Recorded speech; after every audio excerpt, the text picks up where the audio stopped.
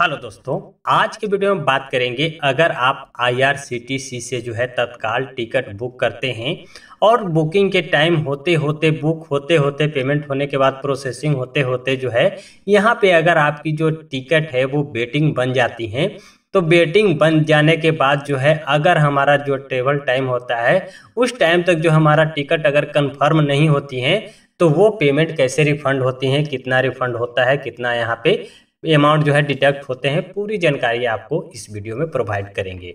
यहाँ पे बहुत बहुत सारे क्यूरी क्वेश्चन आ रहे थे कमेंट्स आ रहे थे कि सर हम तत्काल तत्काल टिकट बुक करते हैं आईआरसीटी से और बुकिंग के टाइम में जो है वहाँ पे अवेलेबल सीट होती हैं, मगर पेमेंट होने के बाद जो है टिकट फाइनल बुकिंग होते होते जो है हमारा टिकट जो है वो बेटिंग निकल जाता है। तो उस स्थिति में हम क्या करेंगे? वो टिकट कंफर्म होती हैं कि नहीं होती हैं? और अगर होती भी हैं तो उसके लिए हमें क्या करने होते हैं? क्या यहाँ पे आईटीआर फ़ाइल करने होते हैं या क्या करने पड़ते हैं? पूरी प्रोसेस आपको बताते हैं। तो देखिए, जैसे आप तत्काल टिकट बुक करते हैं आईआरसीटीसी से तो यहाँ पे जो है जब आप चेक करते हैं, उस समय जो है टिकट आपका अवेलेबल होता है। बट यहाँ पे प्रोसेसिंग होते हुए टिकट बुक बुकिंग करते करते जो है, यहाँ पे आपको टिकट जो है, यहाँ पे बेटिंग आ जाती है। तो देखिए, यहाँ पे कन्फर्मेशन का जो चांसेस होता है बेटिंग पे डिपेंड करता है। अगर आपकी जो है बेटिंग जो है पाँच छः या दस के बिटवीन होती हैं तो यहाँ पे नाइन्टी परसेंट चांसेस होती हैं कि वो जो है टिकट आपकी कन्फर्म हो जाती हैं। अगर वही बेटिंग जो है ज़्यादा आ जाती हैं तो उस स्थिति में जो है चांसेस कम होते हैं जो है यहाँ पे कन्फर्म होने की। तो ये डिपेंड करता है क्लास पे भी। अगर आपकी टिकट जो है थर्ड थर्ड एसी का है, सेकंड एसी का है, फ़र्स्ट एसी का है, और उसमें अगर बेटिंग जो है आपका चार, पाँच आ गया तो भी यहाँ पे मुश्किल होता है कंफर्म होना। अगर यही स्लीपर का है तो स्लीपर में चांस होते हैं, नाइन्टी परसेंट की जो है आपको जो बेटिंग अगर दस तक है तो वो कन्फर्म हो जाती हैं। तो ये डिपेंड करता है आपके क्लास पे कि किस क्लास के लिए आपकी जो है यहाँ पे टिकट बुक की गई हैं। किस रिजर्वेशन कैटेगरी में आपकी बुक की गई हैं। अब बात आती है कि अगर हमारा टिकट जो है, यहाँ पे बेटिंग निकल गया और कल की सपोज़ डेट आज चौदह तारीख है, पंद्रह तारीख का जो है हमारा टिकट है। और यहाँ पे आपको ये देखना होता है कि अगर आपकी जो है टिकट का जो है, जो चार्ट बनती हैं, चार्ट के समय तक जो है चार्ट बनती है, उस समय तक अगर आपका टिकट जो है कन्फर्म नहीं होता है तो वो ऑटोमेटिकली जो बेटिंग टिकट है वो कैंसिल हो जाती हैं। तत्काल केस में ज़रूर ध्यान रखिएगा कि अगर आप तत्काल बुकिंग करते हैं, टिकट बुक करते हैं आईआरसीटीसी के माध्यम से तो अगर आपकी जो है चार्ट बनने तक जो है अगर आपकी टिकट जो है कंफर्म नहीं होती हैं तो उसका रिफंड जो है ऑटोमेटिकली जो है हो जाती हैं।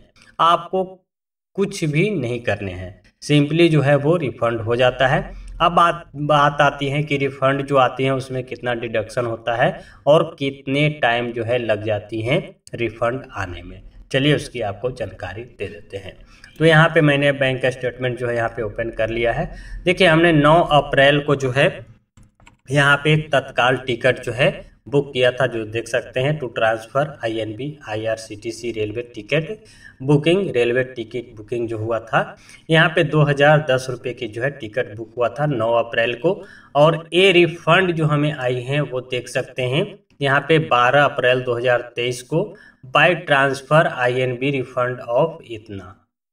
देखिए, इसका ये आया है और इसका जो है यहाँ पे ट्रांजेक्शन आईडी है और अट्ठारह सौ रुपये जो है पेमेंट हमें रिफंड आई है। तो यहाँ पे टोटल जो है यहाँ पे दो हज़ार दस रुपये की टिकट थी। यहाँ पे तीन सौ दस रुपये जो है यहाँ पे डिडक्ट हो गए हैं। तो यहाँ पे जो है ट्रांसफ़र जो है टिकट का वो थ्री डेज़ के अंतर्गत जो हमें रिफंड आ गई हैं इससे आप अनुमान लगा सकते हैं कि कितना जो है हमें यहाँ पे डिडक्ट हुआ है अमाउंट और थ्री डेज़ में जो है वर्किंग डे में जो है यहाँ पे पेमेंट भी जो है रिफंड आ जाती हैं पहले जो है यह प्रोसेस जो है एक वीक तक भी लग जाती थी पेमेंट रिफंड आने में तो कुछ फास्ट सर्विस यहाँ पे हुई हैं अगर आपका जो है कैंसिल होती है टिकट तो वो रिफंड जो है थ्री डेज़ के अंतर्गत जो है आपको रिफंड हो जाती है तो ये था दोस्तों, आज का मस्ट इन्फॉर्मेटिव वीडियो जो हमने इस वीडियो में कवर की है कि अगर आप भी जो है एयर सिटी के माध्यम से जो है तत्काल टिकट बुक करते हैं और वो तत्काल टिकट बेटिंग निकल जाती हैं और उसकी जो है यहाँ पे कंफर्मेशन नहीं होती है तो वो ऑटोमेटिकली जो है कैंसिल हो जाती हैं ऑटोमेटिकली जो है आपको अकाउंट में पैसे आ जाते हैं। इसके लिए आपको कोई प्रोसेस करने की ज़रूरत नहीं है, खाली आप ये ध्यान रखिएगा कि चार्ट बनने तक जो है आपको अपना जो आई की जो स्टेटस है टिकट की जो स्टेटस है पीएनआर स्टेटस, वो हमेशा चेक करते रहिए। और जैसे कंफर्म नहीं होती है तो जो है, वो पेमेंट ऑटोमेटिकली जो है, आपके अकाउंट में जो है, आपको रिफंड आ जाती है।